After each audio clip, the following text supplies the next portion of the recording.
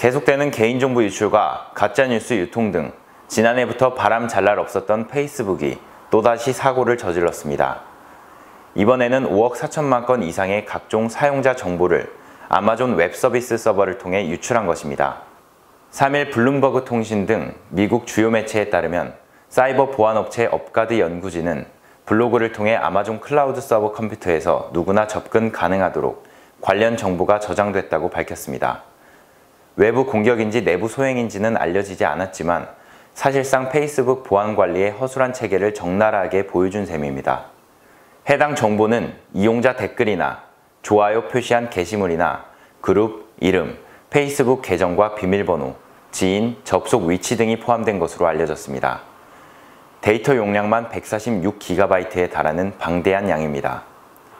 해당 정보들은 멕시코 소재 미디어 기업 컬투라 콜렉티바에 입수되기까지 했습니다. 연구진은 페이스북에 통합된 앱, 애더플 계정을 통해서도 각종 정보들이 AWS 서버에 저장됐다고 밝혔습니다. 노출된 정보는 페이스북 계정과 좋아요를 누른 항목, 관심 있는 영화나 책등 애더플 계정 비밀번호 2만 2천여 개로 나타났습니다. 페이스북은 이러한 사실이 공개된 후 아마존의 협조를 받아 해당 정보가 담긴 서버를 비공개 전환한 것으로 전해집니다. 그동안 여러 번의 보안 사고로 회원 신뢰도가 바닥에 떨어진 페이스북은 이번 사건으로 최악의 수순을 밟는 것이 아니냐는 우려까지 나옵니다. 페이스북은 지난해 10월 해킹으로 3천만 명 이상의 개인정보가 유출된 바 있습니다. 국내도 예외가 아니었습니다.